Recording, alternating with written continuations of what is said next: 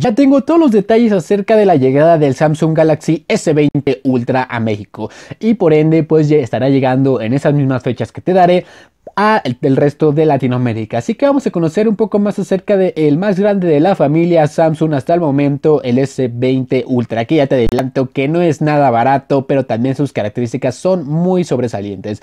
Podemos ver una estética muy parecida a los antiguos S20 y S20 Plus, que ya habré subido un video al canal mencionando todos los detalles. Este S20 Ultra es más grande, tiene un apartado fotográfico más amplio y obviamente tiene características más top, más premium, por lo cual pues obviamente se Así que vamos allá, vamos a hablar un poco acerca de todas sus características, ya que en diseño es prácticamente igual al S20 y S20 Plus. Como te repito, es más grande y el apartado fotográfico es más grande y tenemos pues lo mismo. Así que vamos allá. Este smartphone cuenta con una gran pantalla de 6,9 pulgadas con resolución Quad HD Plus, la tecnología Dynamic AMOLED y el formato de la imagen 20 novenos con la misma tecnología que veíamos en sus hermanos menores, la tasa de refresco de 120 Hz y una tasa adaptativa y sensor táctil de 240 Hz. Encontramos en sus interiores el mismo procesador que sus hermanos, el Exynos 990 de 7 nanómetros, que hasta el momento es el procesador más potente por parte de Samsung. En cuanto al almacenamiento, eso sí, hay dos versiones,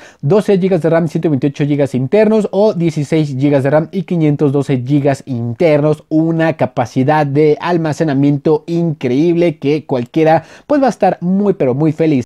En cuanto a la batería, igual es más grande es una batería en concreto de 5000 mAh con carga rápida de 45 vatios. Muy, pero muy, eh, pues increíble, aunque cabe destacar que el cargador que incluye este dispositivo es de 25 vatios, por lo cual vas a tener que comprar un cargador de 45, así que no vas a poder, pues, eh, tener la mejor experiencia en esa carga no la vas a poder explotar al máximo. Así que mucho ojo en ese dispositivo.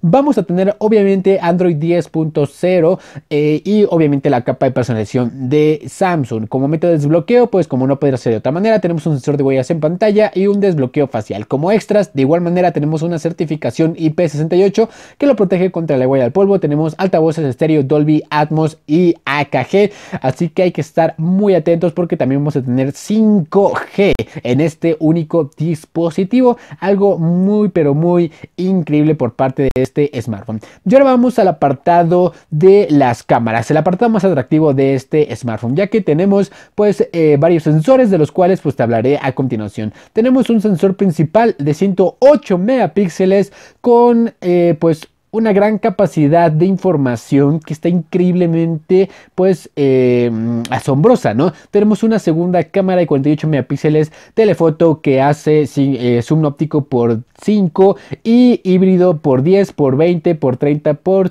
40 y digital por 100. O sea, tenemos un zoom increíble. No sé para qué lo voy a ocupar, pero tenemos un zoom increíble. Y tenemos una última cámara trasera de 12 megapíxeles con ultra gran angular. Hasta ahí pues todo bien. Y en la parte frontal nos quedamos con un selfie de 40 megapíxeles con la grabación 4K a 60 FPS.